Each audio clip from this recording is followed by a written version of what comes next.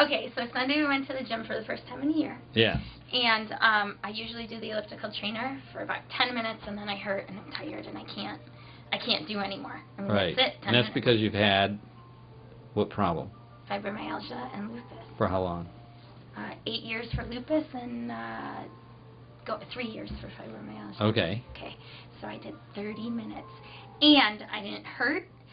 I wasn't tired. I got off and I could breathe. I didn't. I felt like I could do longer, but then Brian Awesome. was walking around going, you know, take it easy, don't overdo it. And then normally after I would do those 10 minutes, the next day I'd have to have a down day.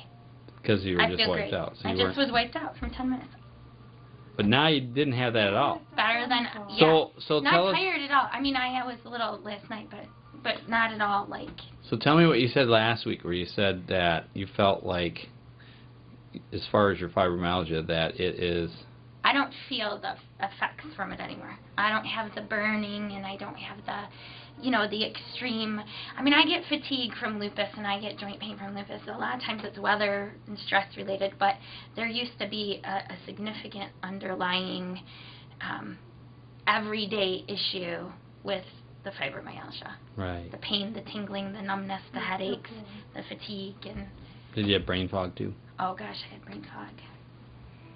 Uh, big time brain fog. But and I and I never know which disease it's related to. But I ha- I it's been better. I wouldn't say it's gone, but it's Right. been a lot better. Good. So you're seeing some really cool results. And then how long have you been working with brain-based therapy to? Well, I finished my my official brain-based therapy program last.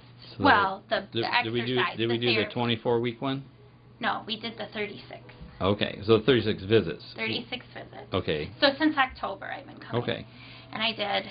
The therapies are done. I still have some of the nutrition Right. adjustment type things. Good. That's exciting. Congratulations. I know, very exciting.